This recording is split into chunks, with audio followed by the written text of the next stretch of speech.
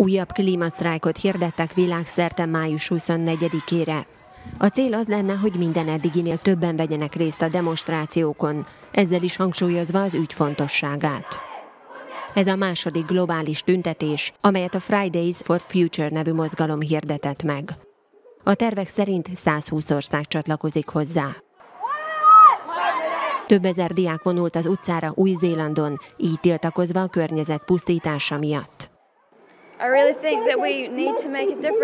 Tényleg változtatnunk kell, és aggódom amiatt, hogy merre tartunk. Változás kell, ezért vagyok itt. Tényleg szeretnék tenni valamit, mondta ez a diák. Kollektíven vagyunk itt, hogy így lépjünk föl a klímaváltozás ellen, és nemzeti vészhelyzet lépjen életbe. Fontos, hogy részt vegyünk, és közösen cselekedjünk, vélt egy másik tüntető. Ausztráliában is tömegesen csatlakoztak a tiltakozáshoz.